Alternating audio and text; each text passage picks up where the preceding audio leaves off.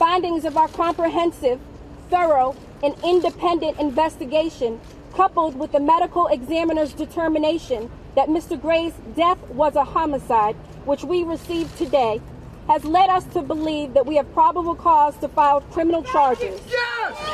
Yes! Lieutenant Rice, Officer Miller, and Officer Nero failed to establish probable cause for Mr. Gray's arrest as no crime had been committed by Mr. Gray. Accordingly, Lieutenant Rice, Officer Miller, and Officer Nero illegally arrested Mr. Gray. Officers Miller and Nero then placed Mr. Gray in a seated position and subsequently found a knife clipped to the inside of his pants pocket. The blade of the knife was folded into the handle. The knife was not a switchblade and is lawful under Maryland law.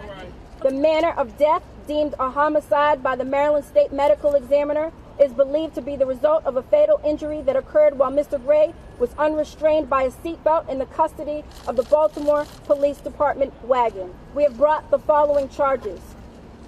Officer Caesar Goodson is being charged with second degree depraved heart murder, involuntary manslaughter, second degree negligent assault, manslaughter by vehicle by means of gross negligence, manslaughter by vehicle by means of criminal negligence, misconduct in office for failure to secure a prisoner, failure to render aid.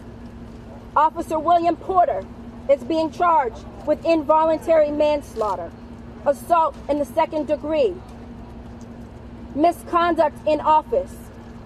Lieutenant Brian Rice is being charged with involuntary manslaughter, assault in the second degree, assault in the second degree, misconduct in office, false imprisonment. Officer Edward Nero is being charged with assault in the second degree, intentional, assault in the second degree, negligent, misconduct in office, false imprisonment. Officer Garrett Miller is being charged with intentional assault in the second degree, assault in the second degree, negligent, misconduct in office, and false imprisonment. Sergeant Alicia White is being charged with manslaughter, involuntary manslaughter, second degree assault, misconduct in office. To those that are angry, hurt, or have their own experiences of injustice at the hands of police officers, I urge you to channel the energy peacefully as we prosecute this case. I have heard your calls for no justice, no peace.